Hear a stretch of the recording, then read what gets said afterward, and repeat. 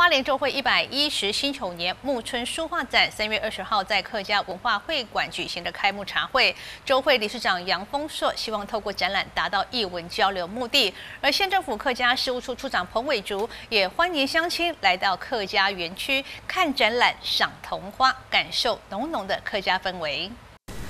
周会是一个文人团体聚会的时候，一边吃粥一边分享自己的书画作品，吟诗作对。重点是闲话家常，谈笑古今，以文学艺术为共同的话题。而花莲周会成立到现在将近十年，理事长杨丰硕表示，希望透过展览达到艺术交流的目的。主要是我们周友的平常展现，就在书跟画的展现，还有摄影。像这两盆也是我们周友这个盆景。他也特别展现两盆盆景在这边展示，就是希望用这种展现的方式来大家互相的跟大家沟通文化的传承这样子。我们作为平常就是有一个书法的教学，还有画的教学，像我们的几位老师，像旁边的老师都是非常优秀的，许纯金老师，还有我们的徐教武老师，徐教武老师一百零三岁了。他都可以叫指导我们周会的会员呐，平常这样在书画的时候啊，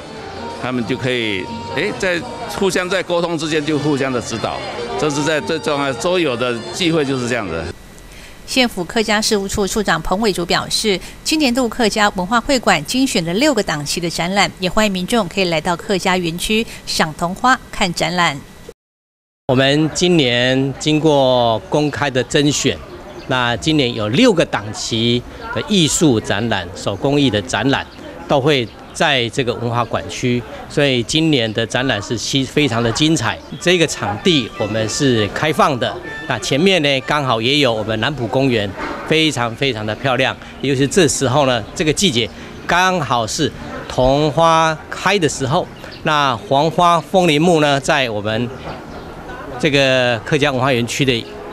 公园里面也有二十几棵，现在都非常非常的盛开，所以来这边看书画展，到户外走走，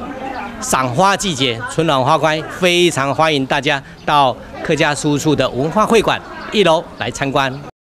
花莲周会一百一十辛丑年暮春书画展作品包括了山水花鸟画、泼墨画、书法、字画，还有摄影作品。展期到四月二十五号，欢迎喜爱书画艺术的民众可以前往参观欣赏。记者会全相报道。